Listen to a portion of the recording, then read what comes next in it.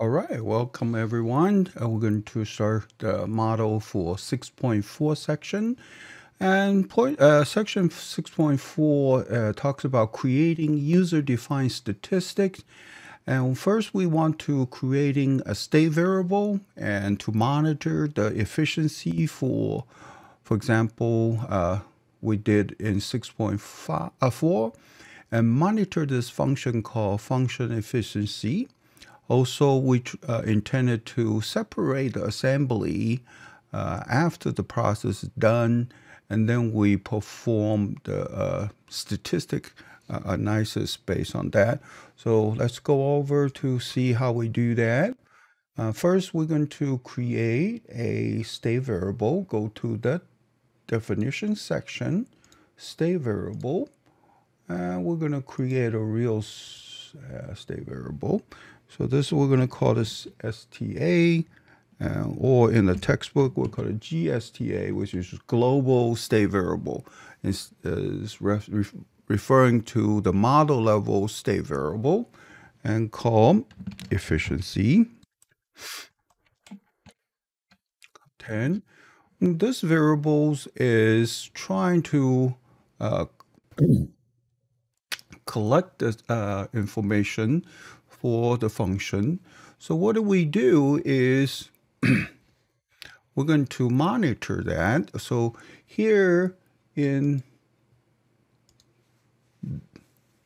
the uh, Packer server, okay, so Packer server, when they enter the Packer server, we're going to do a state environment uh, assignment. Let's take a look how we do that. So here we have on entering the Packer server, I'm going to add an assignment right here.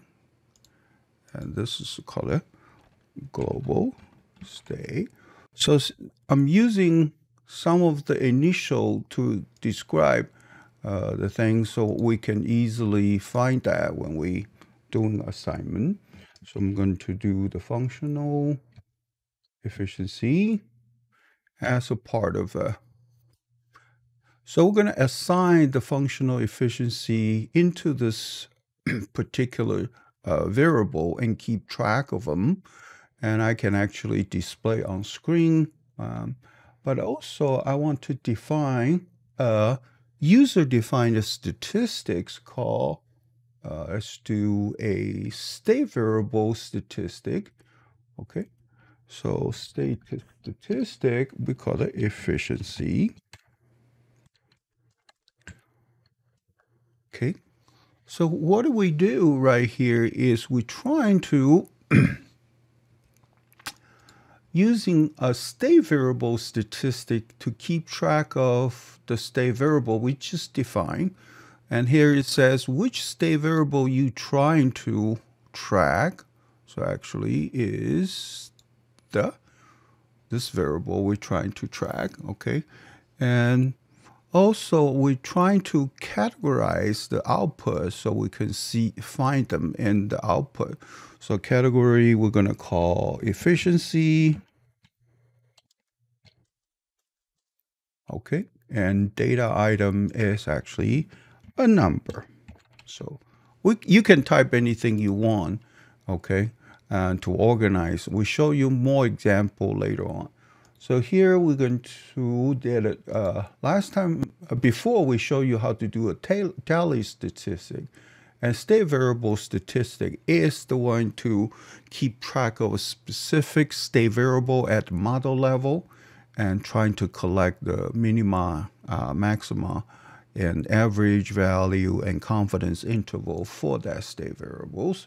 And that's what we do. So and let's quickly run it to the end of the simulation. Okay. So simulation is done. Once we see the result, and we can easily find in the model level, see the object type is a model, and object name is also model, but the data source is from the state statistics efficiency we just defined. And the category is this efficiency we customize. and the data items is also a number is a number. So you can probably see that right now we have what efficiency averages is about 88.5% and final value is about 0.9 uh, final value at the end of a simulation its value is 0.9 and the maxima is 0.9 it never reaches uh, 100% of efficiency. All right so this is pretty much for that part. And we go back uh, we're trying to see how many entity are uh, done. Uh, this is for your homework uh, assignment part 5 as you see that. So I want to separate the parts uh, before we take, uh, uh, let them go to the sink. So I'm deleting these three time paths, okay, and move this a little bit. And I'm going to use a separator down here. A separator actually separates, split the batch over here. Split the batch used to be batch. Then we're going to have three time path over here. And here, come to the separator. All the assembled uh, packet uh, memory modules going to go to the separator. And the separator, after the separation, it has the boards going to go up from the parent nodes and the members are going to go down to uh, the member node. And also, we would like to separate uh, the uh, black chips and the red chips. So I'm going to do this. So one of them represent the access for the black chips and one of them represent the access for the red chips. Okay. I'm going to rename this for black chips and this to be red.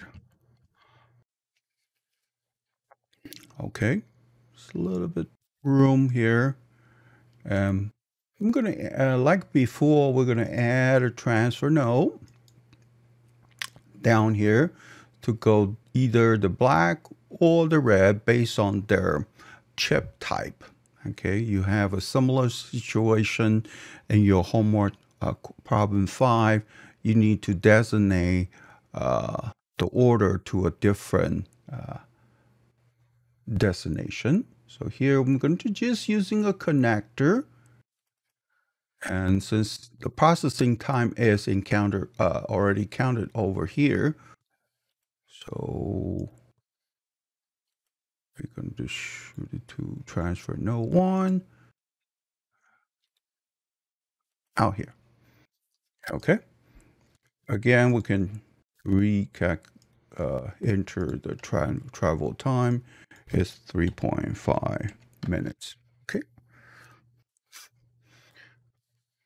So this is straightforward. Okay. And just do a different statistic.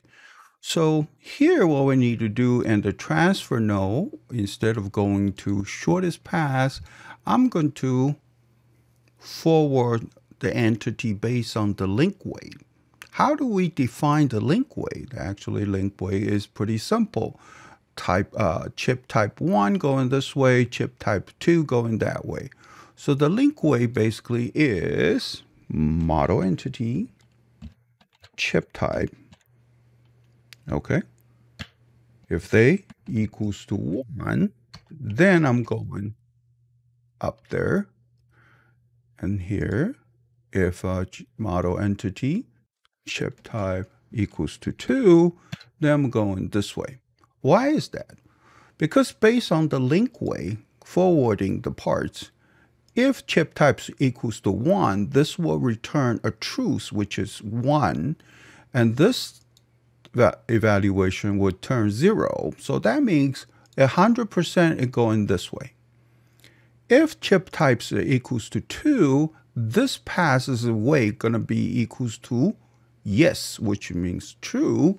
and there will be equals to 1, and the other link weight will be equals to 0. So that means 100% you're going to go that way. So this is the way we show you how to divert uh, your entity to a different uh, downstream and using a logical expression saying model type chip uh, model entity chip type equals to 1 then this link will have 100% away the other link is mutually exclusive condition will have a weight of zero and so on, uh, vice versa.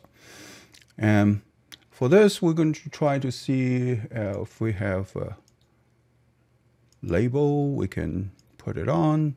How do we do that? We've done this before. Input buffer, number of enter. So see how many entity actually going into that particular input buffer. And same thing, I'm going to do the same. One more time, input buffer, number intern. Or you can say number exit, it doesn't matter. Uh, for the sink, for other places might actually matter. But here, what we have, and then just, we just want to know. Okay, one more time. Oh, sorry. To see this label, I'm sorry.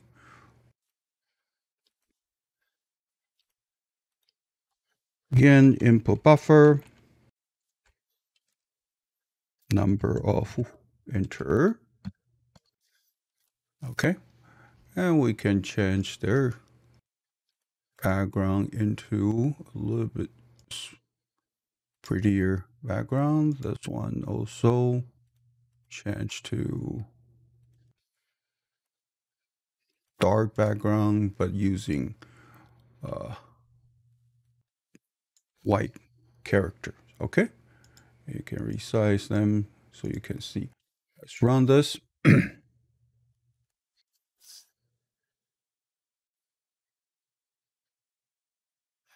And you can see how many board got exit and how many corresponding times 4 equals to the blue and the red. And this is pretty much uh, what we have for 6.5 section. We'll see you in the next chapter. We're going to elaborate this uh, example using so-called add-on processes instead of using state assignment only. And we'll see you in uh, chapter 7.